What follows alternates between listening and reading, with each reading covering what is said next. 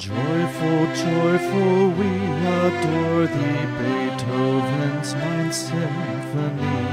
Oh, to joy with steady rhythm and a catchy melody.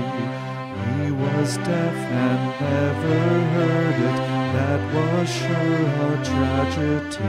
But in his head he knew the music, chorus paired with symphony.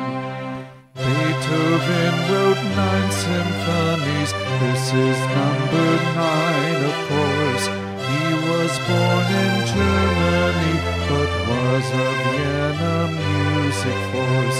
He wrote quartets, piano sonatas, opera songs, and concertos. Melodies that are familiar, tunes that everybody